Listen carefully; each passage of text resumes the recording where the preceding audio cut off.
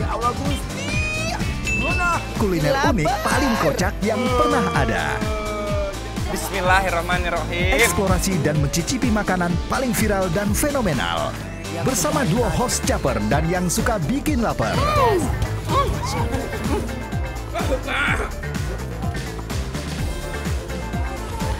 Bikin lapar. Hadir setiap Senin sampai Jumat jam setengah tujuh malam di Trans TV. Lagi-lagi kasus narkoba. Narkoba, yes. Dan mungkin ini juga yang dirasakan oleh Juliana Mukhtar. Tapi di sisi lain dia bukan ditinggal suami untuk ke penjara, tapi ditinggal suami untuk selama selama lamanya ya. Yang masih kita ingat kepergian dari Herman, eh, salah satu personel band Seventeen ya di Ya. awal tahun kemarin.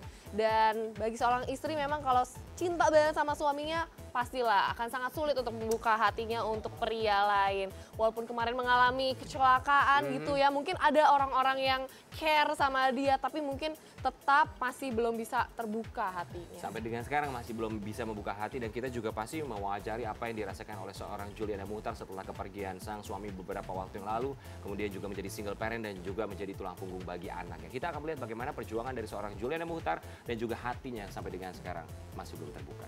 Ini dia. nggak sendiri loh buy one get two loh udah aku ada anakku gitu Bukan perkara yang mudah bagi Juliana untuk mencari sosok pengganti almarhum suaminya. Terlebih dengan kondisi yang sudah berstatus janda dan memiliki dua orang anak, membuat wanita kelahiran Aceh itu memiliki banyak pertimbangan sebelum menentukan pilihan.